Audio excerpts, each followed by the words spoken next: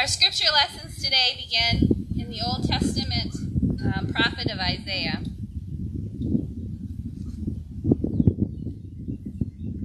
Isaiah chapter 43.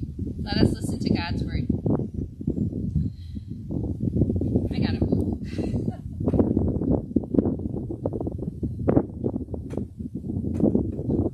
there, maybe I'll have a little more, um, no, wind protection. All right, let's try again.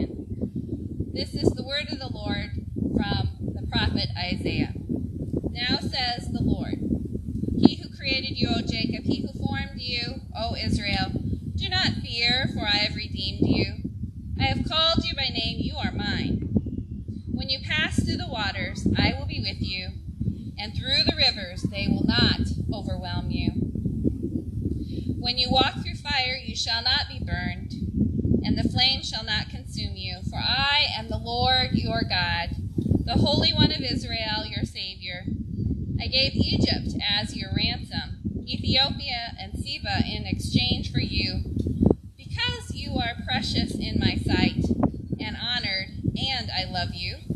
I give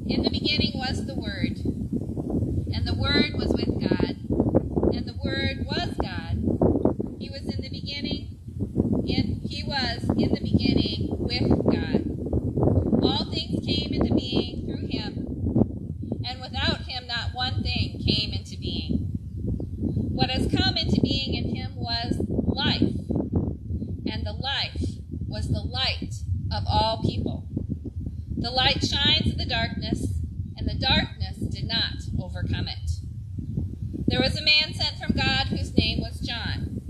He came as a witness to testify to the light, so that all might believe through him. He himself was not the light, but he came to testify to the light, the true light, which enlightens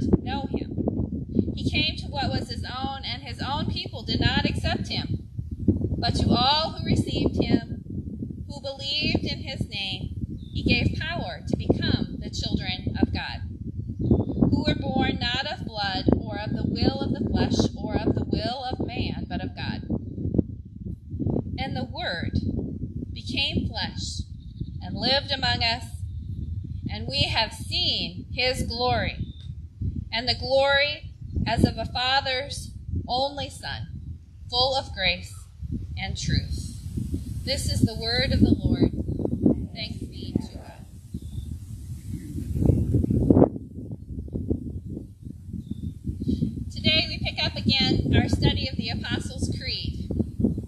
We began it, oh, about a month ago or so, and today we continue in the middle section. The middle section which says, Jesus Christ, our one, our Jesus Christ, his only Son, our Lord, who was conceived by the Holy Ghost, born of the Virgin Mary, suffered under Pontius Pilate, was crucified, dead, and buried. He descended into hell. The third day he rose again from the dead. He ascended into heaven, sitteth at the right hand of God the Father Almighty. From thence he shall come to judge the quick and the dead. Whew, that's a lot of words. But it's a lot to say about Jesus. When you think of Jesus, what words pop in your mind first? As names or titles or descriptions or roles? Who is Jesus to you? Human? God? Savior? Lamb of God? Bread of life? Good Shepherd? Emmanuel? The way? The truth? The life? Or thinking to that most famous of all, Wonderful Counselor, Mighty God, Everlasting Father, Prince of Peace. How about modern words? What pops into your mind first? Mentor or coach? Friend? The Holy One? The Good Comforter? God? We have lots and lots of words. Perhaps it's most difficult of all to try to sync together this idea of Jesus as both holy and human, both divine and human. And our math says, is it 50%, 50%? Is it 100%, 100%? Well, that equals 200 according to um, the youngsters, right? what does this mean? It's not just us who have thought about this.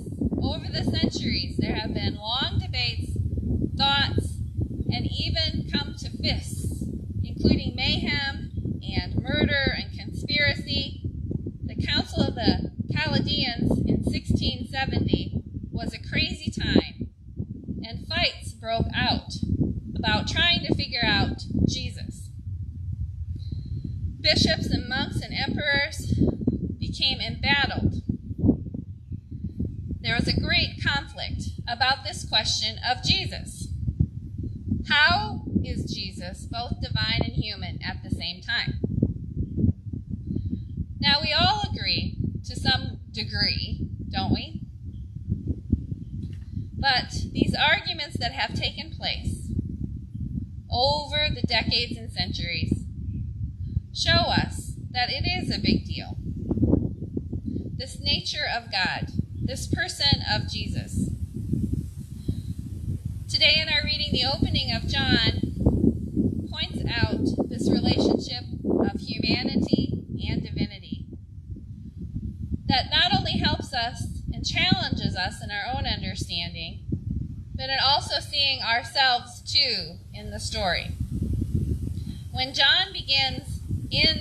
beginning, it takes us not only to Jesus' beginning, but in the beginning of creation.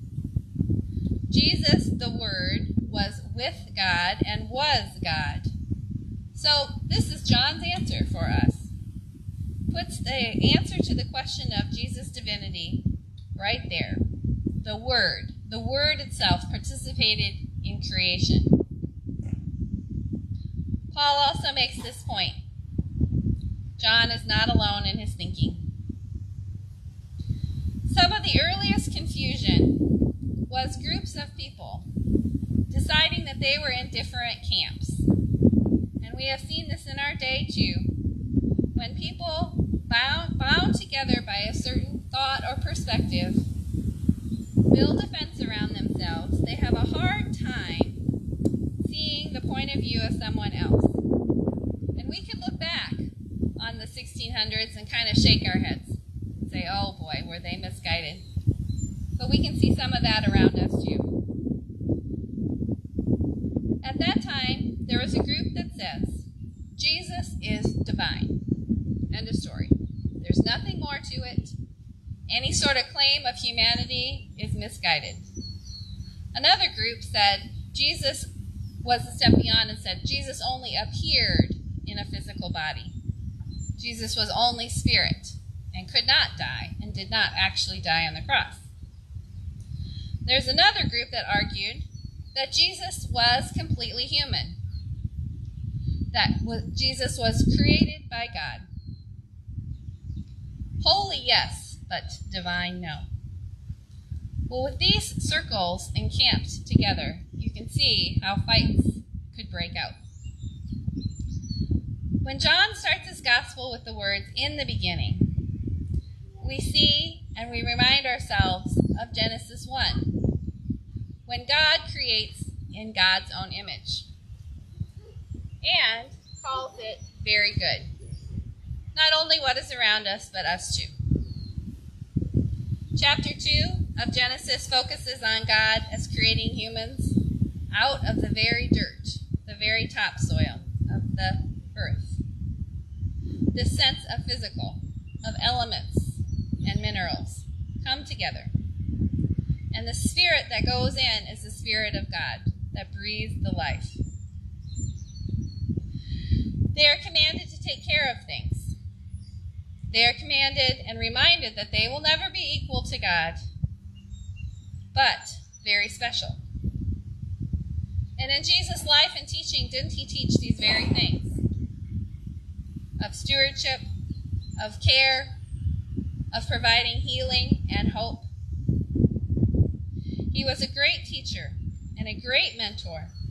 But beyond that, in his death and his resurrection, showed his humanity, showed his divinity, showed everything that he was, not only to God, but also to us. How we understand Jesus is important.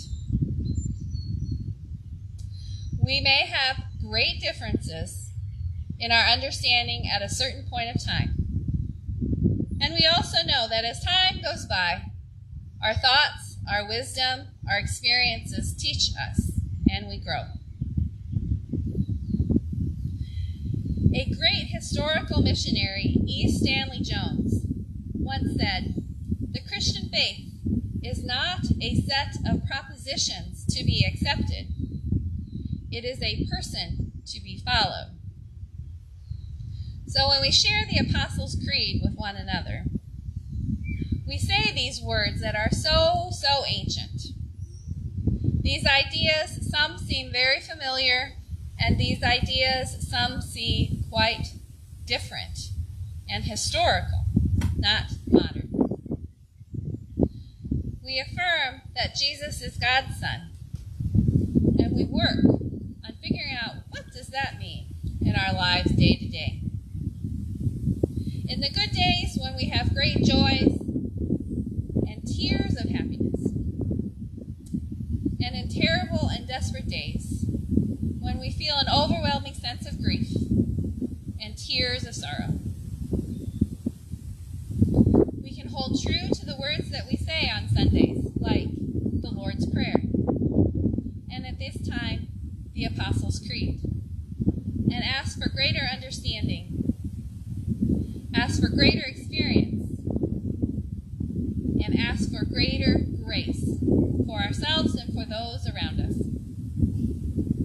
Let us recite it and let us live it. Please stand and let us say the Apostle.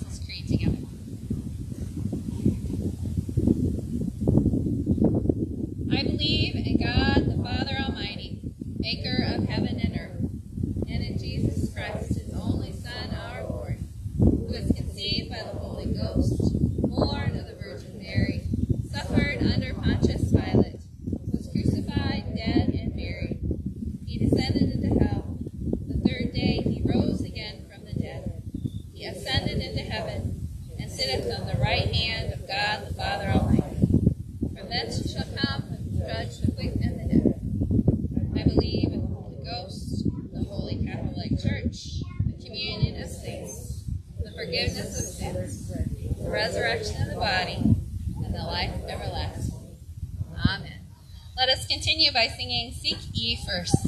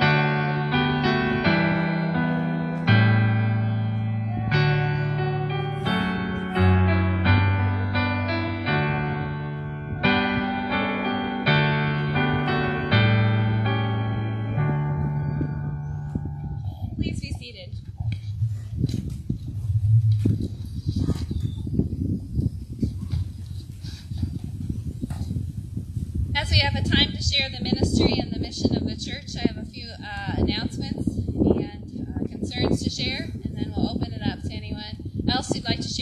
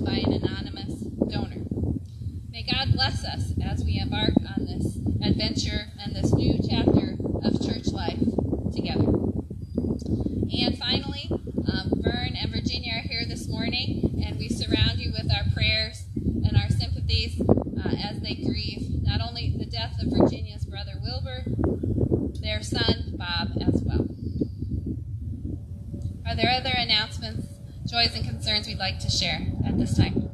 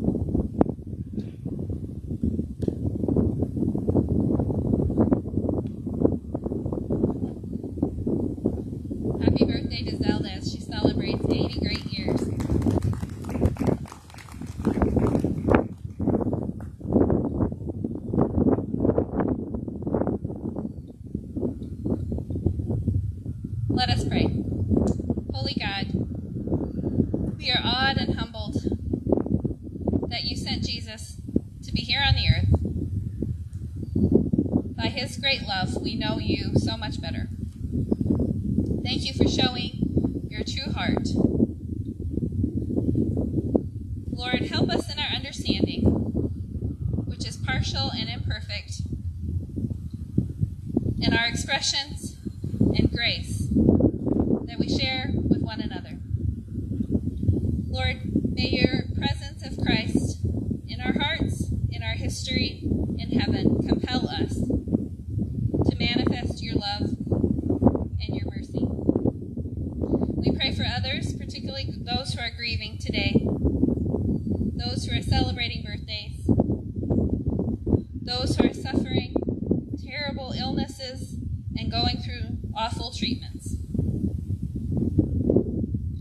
Gracious Lord, we pray for our nation today as we remember D Day in 1944. And we pray the words that Jesus has taught us through his grace, his teaching, through his understanding of you. We say together, Our Father, who art in heaven, hallowed be thy name. Thy kingdom come, thy will be done on earth as it is in heaven. Give us this day our daily bread, and forgive us our debts, as we forgive our debtors. And lead us not into temptation, but deliver us from evil. For thine is the kingdom, and the power, and the glory forever. As you see in the um, order of worship today, we do have a time of offering. Um, we're still not passing around the offering plate yet, but it is up front for you to use and contribute to at the end of the service.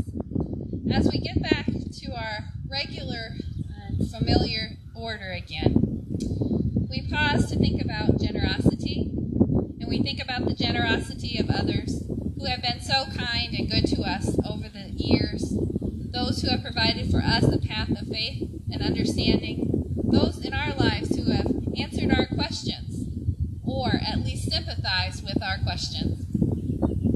We thank God that we are part of the great story of faith for not only ourselves, but as we share with others. Today we lift up the uh, Linn Community Food Pantry on this first Sunday of the month. We also lift up our collection of personal hygiene items here in this month of June for the Olivet Neighborhood Mission, we look around and we see the blessing of land, of field, of woods, of creek, of meadows, of one another. And we pray the prayer of offering that we've recited in recent days as we say again today together Generous God, we offer our gifts and our lives. May the spirit in which they are given allow them to be free rather than to bind, to heal rather than to wound, and to serve the reign of the Lord of life. Amen. Let us sing together our familiar doxology. Please stand as you're able.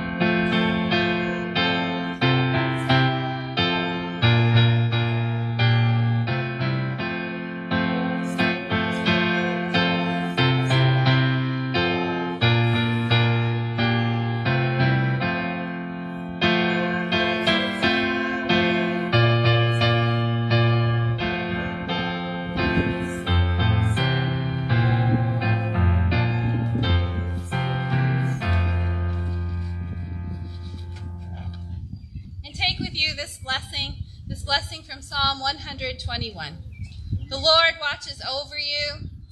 The Lord is your shade at your right hand. The sun will not harm you by day, nor the moon by night. The Lord